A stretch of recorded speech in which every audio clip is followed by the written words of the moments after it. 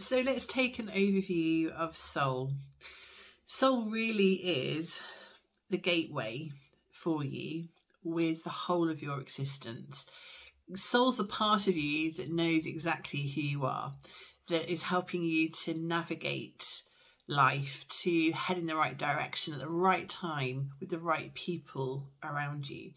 Soul's interested in helping you fulfill your purpose. Your purpose is their purpose, is impactful and beneficial to the whole of your existence. Soul really does help drive you forwards.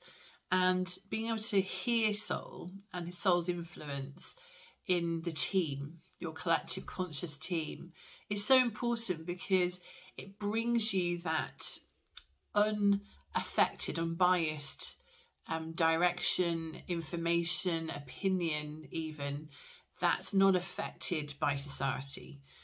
It's like being, I call it newsreader mode. When you're in newsreader mode or you're listening to a newsreader, they're being quite kind of down to earth, uh, quite matter of fact.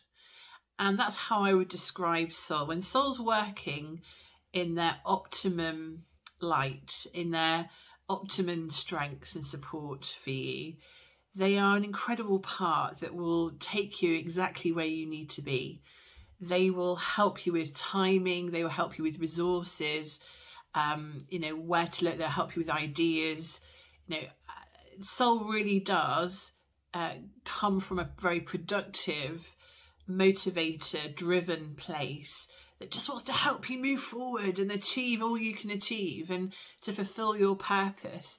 And that's why having soul as part of the group, as part of the team, is so important because it really does offset any negative aspects that come into the collective, um, such as fear and uh, such as worry and anxiety and stress and overwhelm. Soul's the part that's going, it's okay, we're safe, we're secure, we're looked after, we're being supported, we're going in the right direction, we've got the right things around us that we need right now. You know, do need to worry. That's the part of us that's trying to keep us in balance from any negativity that's kind of fed into the group from outside or from within even. So soul really can take us forward and if occasionally we let soul take the lead, we can go to a really productive place. If, if you were to have a, an important meeting or interview coming up where you felt quite nervous um, and worried about what you were going to say, were you going to say the right things, perhaps you're doing some public speaking and coming across in a professional way, uh, saying all the right things that you need to say is actually, you know, really important uh, to your purpose of being there. Having soul forward, letting soul into your centre and taking the lead in moments like that is such a productive place to be because, you know, soul will carry out the task unabated without any fear. Uh, soul's fearless and, and just wants to help move you forward. Soul, sometimes soul can be affected by other aspects of your existence. And that's always something that we can explore when we're working with soul as a part of the collective conscious in this way. But when soul's properly on it and you're allowing soul to be that influence and the, and the group, the team are allowing soul to be that influence that you need, my golly, it can change things for you and help really move you forwards very quickly.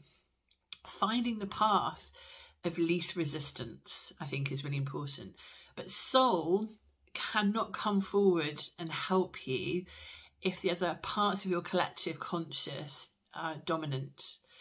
You know, if you have parts of you that are dominating your center and taking over, soul will not interfere and, you know, eject them from the center soul will step back and allow you to learn and learn what you need to do to get yourself into this place of balance.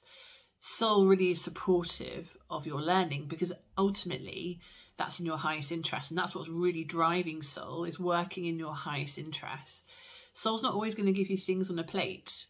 um, soul's going to let you learn and because that will really have a deeper impact on how you can move forward in your future and your strength and your knowledge and your wisdom so you know soul working with them uh, is a gateway to to your intuition you know we're we're looking at the collective conscious here as a means of supporting your perceptions, your interpretations of intuitive information that comes through to you. So you're seeing it and reading it, so to speak, at depth.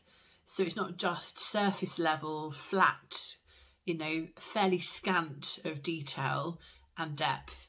You know, when you're working with your collective conscious as a team, you're getting that perspective at depth. You're getting so much more information. And when you have more information, you can work far better in your highest interest. And that can make a real difference to your decisions and choices moving forwards. So, seeing soul a little bit as the gateway is the bridge that bridges you in this reality, perhaps to the rest of your existence and, and really who you are and you know your true extent of wisdom and knowledge that you carry through your existence and all those other lifetimes that you have a signature within. It, soul has that oversight, that overview, and that's the part that can make such a difference to how we feel. We feel confident that we're doing the right things at the right time, in the right way. That's where it comes from. So um, that's soul. See soul really as the driver of the team, the motivator, um, the strength and confidence of the team, and you won't go far wrong.